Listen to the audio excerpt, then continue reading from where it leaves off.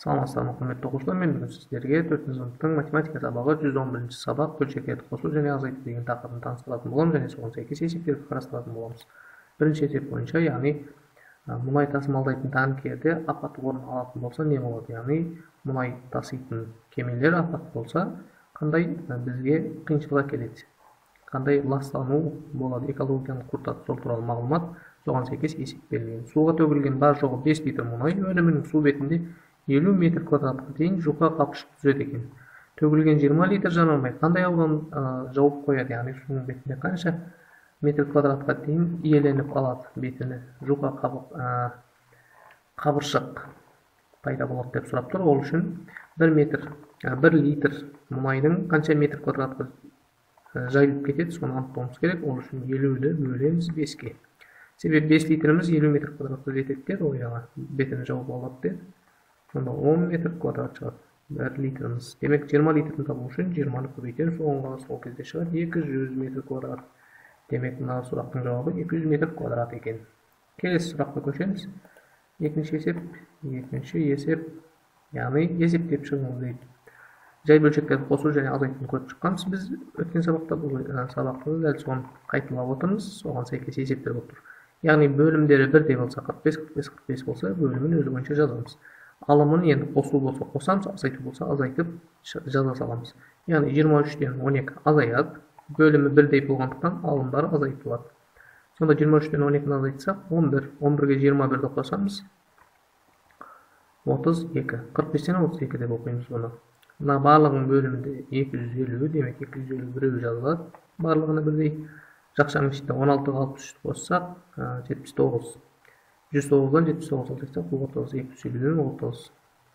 мына барлығының бөлімінде жүз тоқсан тұр жақшаның ішінде отыз екіден он екіні азайтсақ жиырма елу жетіден жиырманы азайтсақ отыз жеті жүз тоқсаннан отыз жеті шығады келесі жақшаның ішінде алпыс жетіден он бес азайған алпыс жетіден тоғыз азайтсақ алпыс жетіден алты болады оған отыз бесті қоссақ алпыс жетіден қырық бір келесі елу алтыдан яғни жақшаның ішіне орындаймыз барлығында бөлімі бірдей сондықтан елу алтыны жазып қойдым қырық екі сегіз елу елуден жиырма тоғызды азайтсам жиырма бір елу алтыдан жиырма бір болды барлығының бөлімі үш жүз сондықтан үш жүз жаздым жақшаның ішінде жүз тоқсан жүз елуні азайттым қырық екі жүз үшке қырықты қостым сонда екі жүз қырық үш болды келесі есепке көшеміз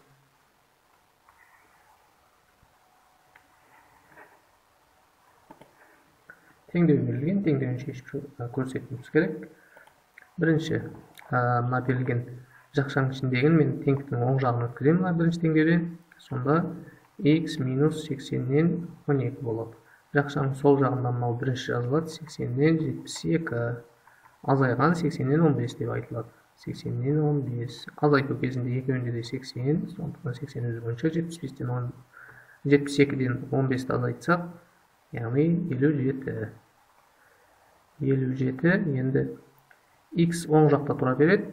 Енді оң жақта тұрған саны сол жаққа өткіземіз оның алдында минус ол плюс болып өтеді. сексеннен он екі. Сонда x тең қосса қанша шығады бөлімі сексен екеуіне ортақ. Елу жетіге он екіміз алпыс тоғыз. Орнына келіп қойсақ елу жеті жетпіс екіден елу жетіні азайтсақ он бес сексеннен он бес. Екіншісі яғни x плюс елу есеп мына теңдеудің мен бірінші x тең деймін да оң жағында жазылғаннан өзі бойынша жазып шығамын. Плюс елуден жиырма жеті. Енді мынау минус болып оң жаққа өтеді. Демек минус елуден жеті деп айтамыз мұны сонда барлығын қосып азайтып шыққанда бөлімі елу болады.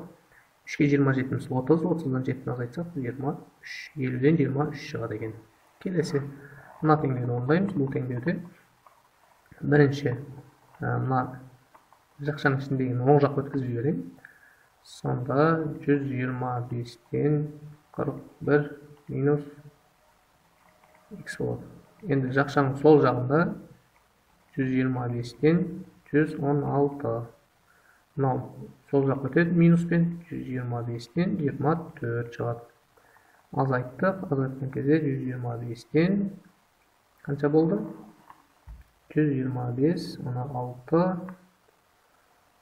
төртті азайтсақ он екі тоқсан екі болды тоқсан екі енді бұл жерде яғни жүз жиырма бестен тоқсан екі шықты оның қасынан мынау минус өтеді яғни жүз жиырма бестен қырық бір деген минус жүз жиырма бестен қырық бір тең x болды сонда жүз жиырма бестен тоқсан екіден қырық бірді азайтсақ елу бір шығады. Иксіміз жүз жиырма бестен елу бір шықты. Ал енді бұл теңдеуде кішкене бір кемшілігі бар. Негізі берілгенде кішкене кемшілік болуы мүмкін. Себебі мына x-ның алдында минус бар. Еді сол минуспен шығады бұл сонда негізі жауабы минуспен шығып қалады. Бұл теңдеуде ә, негізі кішкене бір жерде плюс минусында қателік болуы мүмкін сондықтан негізі дұрыс жауап шығып тұр бірақ әлі өтпеген бір кішкене тақырыптар бар да бұл жерде минус x деген қалай болады деген содан негізі x минус жүз жиырма бестен елу бір шығу керек осындай сан шығады сонда жүз жиырма бес мына екеуі қосылады жүз жиырма беске бұл қосылды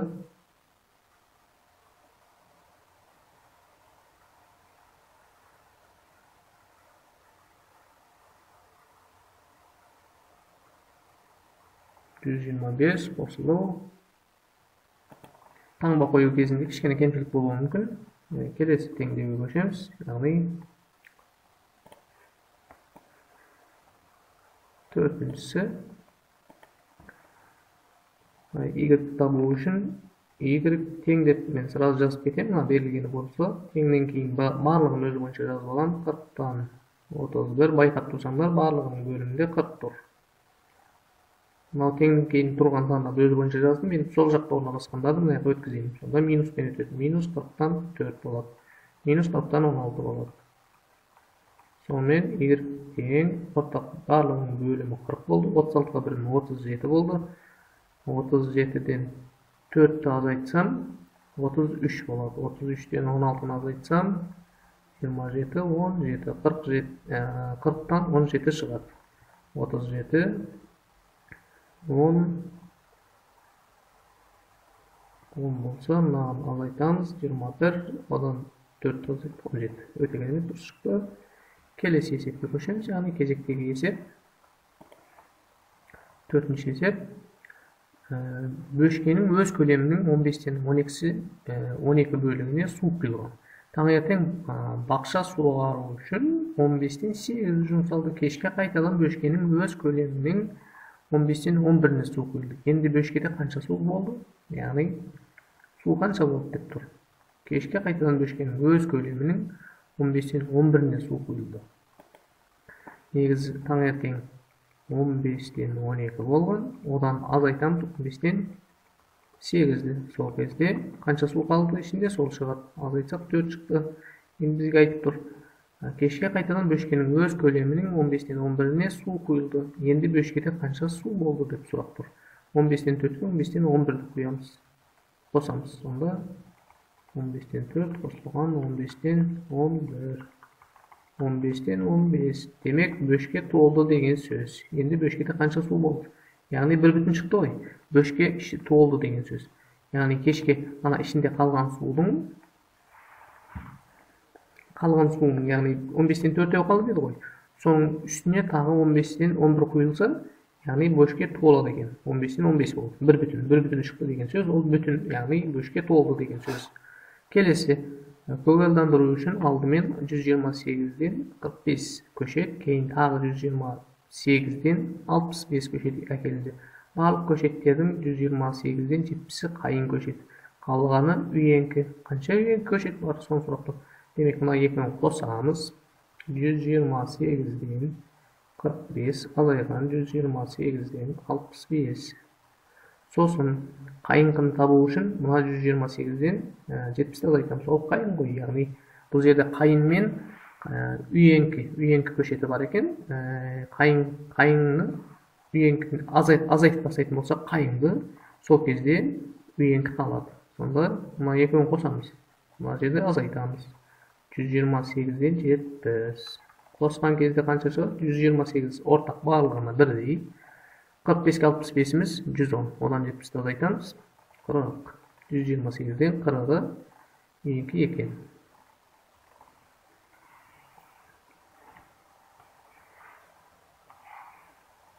келесі есеп тостақанның бестен бір бөлігіне салынған құм шекерінің массасы 100 грамм бестен бір бөлігі тең беске бөлген содан біреуін алса яғни бір, бір бөлігі 100 грамм екен. Құм шекер толы тостақанның массасы қандай болады? Ол үшін не істейміз біз? Оқушылар 100 граммды мына бірге бөлеміз. Жүзді бірге бөлеміз. Дәл осындай сұрақ келсе осылай жасайсыңдар. Алымындағы санға бөліп сосын көбейтеміз қанша бөлікке бөлінген? 5 бөлікке. Сонда қанша грамм екен? 500 грамм. Жауабы осындай болады. 500 грамм. Бақшада 128 ағаш болды. Бұл ағаштардың 8-ден бірі. Алма ағаш барлық ағаштардың төрттен бірі. Алмұрт қалғандары шие. Қанша шие бар деп сұрап тұр?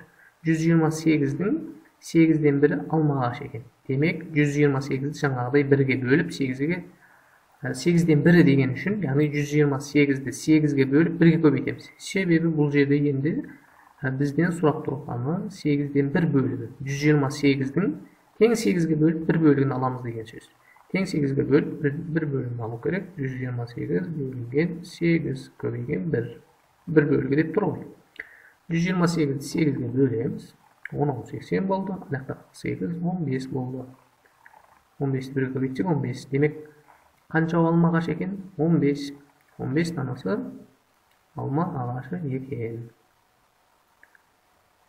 16 15 емес 16 бұл жерде яғни 48 екен 16 шығады келесі барлық ағаштардың төрттен бірі 128-ді қайтадан төртке бөліп бірге көбейтемін себеп төрттен біреу деп тұр төртке бөлсем екіге бөлсем алпыс отыз отыз екі яғни отыз екісі кім екен бұл жерде қандай ағаш екен алмұрт екен енді қалған шие дейді демек отыз екіге он алтыны қосамыз жүз жиырма сегізден азайтамыз отыз екі қосылған он алты. Дәл осындай орындаумен орындайсыңдар жүз жиырма сегізден азайтамыз отыз екіге қырық сегізді сонда қанша шығады бұл жерден? сексен. Қалған сексен түбі шие ағаш екен.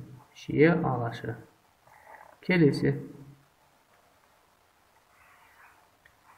Келесі есеп алтыншы есеп арман ақшасын санап егер менің ақшама ол ақшаның жартысын және 20 теңге қосса менде 110 теңге болады деп ойлады. Арманның қанша ақшасы бар?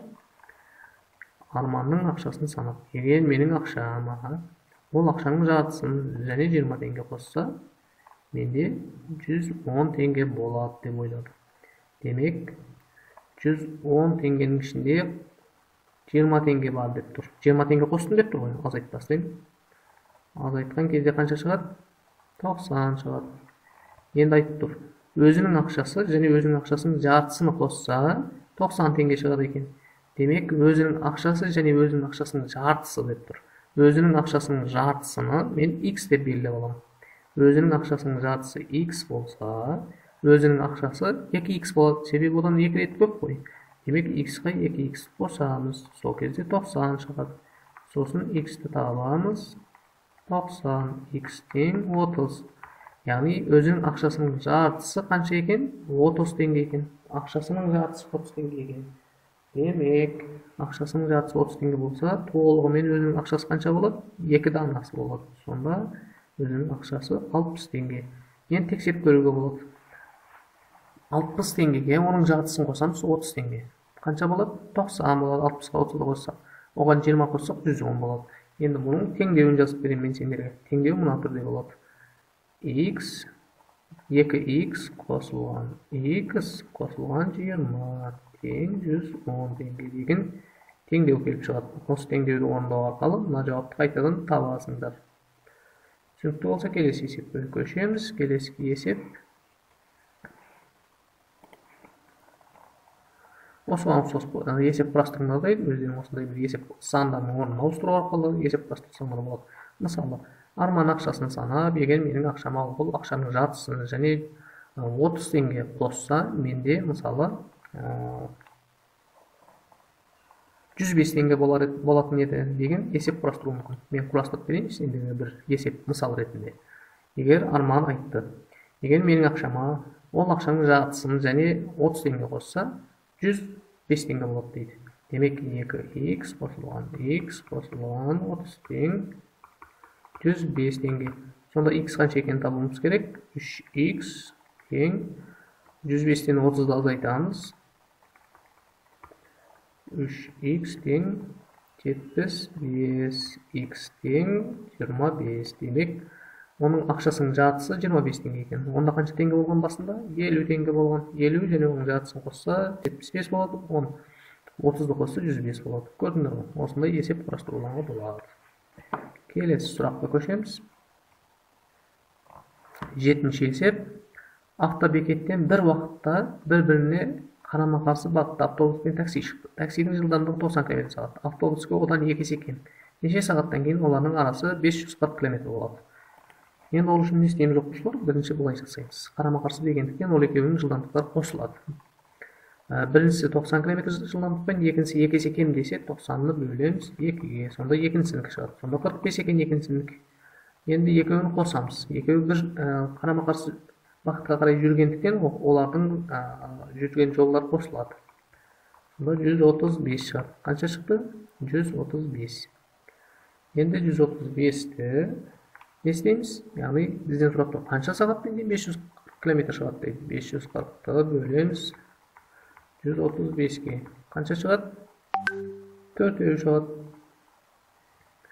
75 140 140 ана жақта 4 сағат түсіндік қой келесі автотұрақтан бір уақытта бір бағытта екі автокөлік шықты біреуі 80 км сағат екіншісі 65 км сағат жылдамдықпен жүрді үш сағаттан кейін олар бір бірінен қандай арақашықтықта болады? Дәл жаңағыдай тек қана сағат берілген.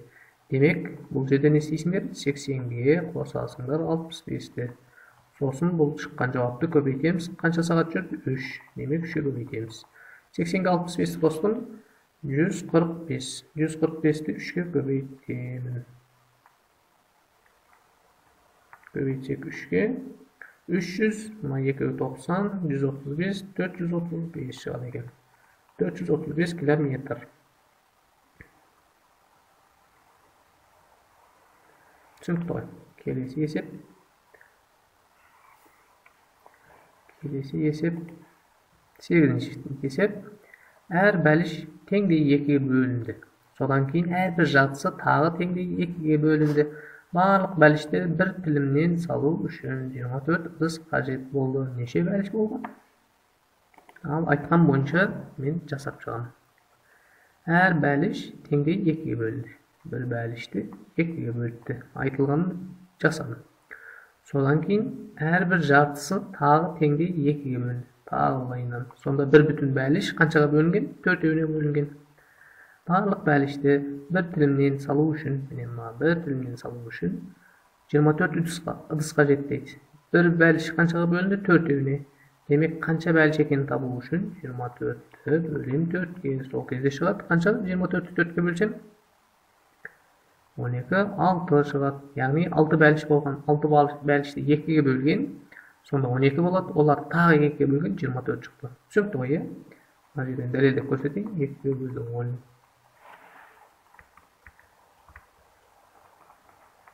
екіге бөлді сосын он тағы екіге бөлді сол кезде қанша шықты алты жаңа мына алтыны көрсетіп бердім келесі салыстыру берілді салыстыру дегеніміз яғни мына қайсы біреу мына бірінші азайтып содан кейін мына мен салыстырамыз азайту кезінде қанша шығады соны анықтайық бірінші он екіден жиырма бестен он екі мен жиырма бестен төрт дегенді салыстырамыз жиырма бестен тоғызға мына екеуін азайтып аламыз. Азайтқан кезде қанша шығады? Жиырма бестен сегіз шығады. Мына екеуін азайтыңыз жиырма бестен сегіз үлкен ба? Жиырма бестен тоғыз үлкен ба? Әлбетте мынау үлкен. Келесі мына екеуін салып қосып мына екеуін қосып салыстырамыз. Тоғыз жүзден яғни екі жағында да тоғыз жүзден болады. Себебі екеуінің де бөлімі бірдей. Төрт жүз жиырма беске елу төрт жүз жетпіс бес. Жүз тоқсанға жиырма бір екі жүз он бір. Дұрыс па? Қайсы біреу үлкен болып тұр әлбетте тоғыз жүзден төрт жүз жетпіс бес мынаяғы үлкен екен келесі қосамыз бұл жерде де біреуіне қосу біреуіне азайту екі жүз елуден мына екеуін қоссақ сексен жеті тоғыз екі жүз жиырма тоғыз болады келесі азайтамыз екі жүз елуден екі жүз он алты мына алпыс үш азайтатын болсақ жүз қырық жүз қырық жүз қырық он үшті қоссақ жүз елу үш. Қайсы біреу үлкен? Әлбетте мынау үлкен. Бұл жерде мынау үлкен болып тұр. Мына екеуін азайтамыз. Елу жетіден отыз екіні азайтамыз. Қанша болады? Әлбетте жиырма бес болады. Жетпістен жиырма бес. Сосын кейінгісі жетпістен қанша болады? Алпыс екіден қырық жетіні азайтсақ мынада үш бар ана жағында он мынада екі бар он бес жетпістен он бес қайсы біреу үлкен әлбетте мынау үлкен демек былай болады бүгінгі сабақ осымен тәмам сендерге түсінікті болды деп ойлаймын сау болыңыздар